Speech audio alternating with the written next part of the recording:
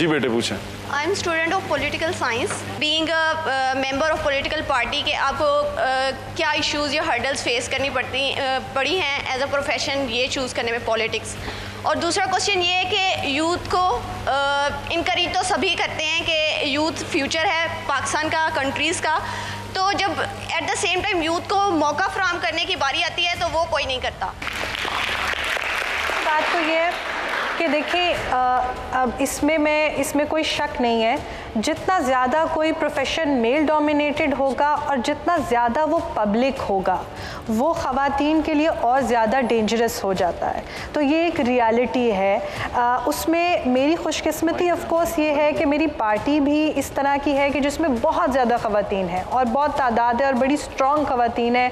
हमने पाकिस्तान को पहली खातून वज़ी अजम भी मेरी पार्टी से निकली। सो एक पार्टी का अंदरूनी माहौल बहुत मैटर करता है लेकिन साथ ही साथ आपको बहुत मज़बूत होना पड़ेगा। मैं छोटी सी आपको ये बात करूँ कि देखें आज का जिस तरह का डिजिटल ज़माना है, उसमें कोई आप बात कर दें, कोई ट्वीट कर दें, कोई वीडियो, कोई भी चीज़ है तो बड़ी दफ़ा मुझे भी बहुत खौफ आता है कि ओ माय गॉड मतलब इसके ऊपर गाली गलोच होगी, ये होगा, वो होगा। ये रियलिटीज़ हैं। लेकिन इस तरह के जो प्रोफेशंस हैं उसमें आपने फिर अपनी स्ट्रेंथ ढूंढनी है। आप ऐसा ऐसी कोई पार्टी ढूंढें जिसके अंदर आपको बात करने का मौका मिले जिसमें आपको फीमेल रोल मॉडल्स मिले और जिसमें आपको सेफ़ स्पेस मिले।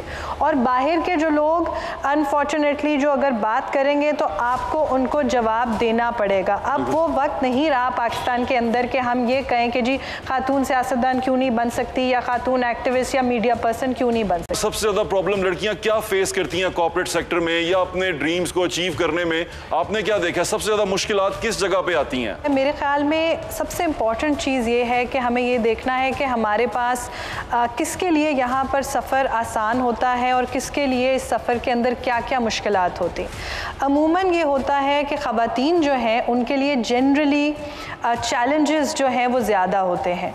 वो चैलेंजेस क्या होते हैं कि ख़ास तौर पर अगर आप आपने, जैसे आपने पूछा कि अगर आपने जॉब करनी है, घर से बाहर जाना है तो बहुत सारी मुश्किल का सामना करना पड़ता है। पहले इजाज़त का एक मरहला होता है, उसके बाद के काम तक जाना, काम तक आना यूनिवर्सिटी तक जाना, वापस आना हमारे यहाँ ख़वान के लिए सेफ़ पब्लिक ट्रांसपोर्ट जो है, वो भी एक ऑब्स्टिकल है।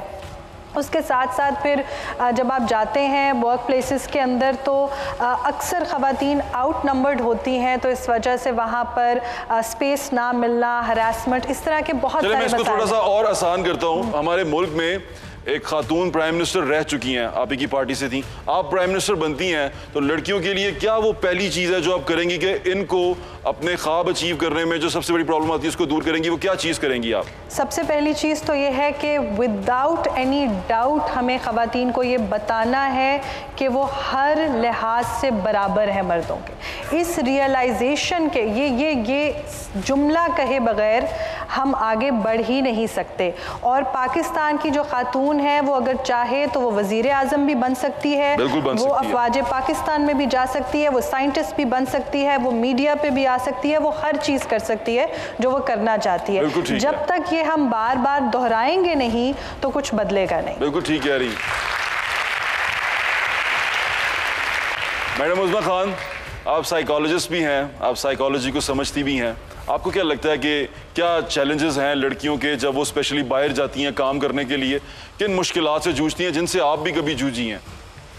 आ, मुझे ज़ाती तौर पे ऐसे लगता है जैसे ये जो सफ़र है जब हम कहते हैं कि ख़वातीन वर्क फोर्स में जब हम देखते हैं तो ये सफ़र बहुत इनिशियल लेवल से स्टार्ट हो जाता है, जहाँ वो घर की तरबियत जो है, वो बहुत काउंट करती है मेरे ज़ाती ख्याल के मुताबिक भी और एक्सपीरियंस के लिहाज से भी, कि जहाँ पे हम कहते हैं कि ख़वातीन ज़्यादा केयरिंग होती हैं या ज़्यादा उनमें सॉफ्ट स्किल ज़्यादा होती हैं तो वही शुरू से इनक्रेज भी की जाती हैं। और अगर वो कोई डिसीज़न मेकिंग में पार्टिसिपेट करना चाहें और अगर इनिशियल लेवल पर उनकी पार्टिसिपेशन को डिस्करेज किया जाए तो वो आगे चल के भी हम उनकी पर्सनैलिटी में देखते हैं कि वो डिसीज़न मेकिंग रोल्स में कम नज़र आती जाती हैं। इंकरेजमेंट बहुत ज़रूरी है। Exactly exactly. बिल्कुल ठीक कह रही हैं। रबाब सलमान साहिबा आप सबसे मुश्किल काम करती हैं। मुझे ऐसा लगता है क्योंकि आप वो वकील हैं और आप सारा दिन में बहुत सारे मुजरमों से मुलजमों से भी मिलती होंगी। फिर आप मुजरम भी देखती होंगी जो साबित हो जाते हैं उनको मुजरम साबित भी करती होंगी। कितना मुश्किल रहा आपका सफ़र यहाँ तक पहुँचने का? या आपने सोचा था कि मैं वकील ही बनूँगी?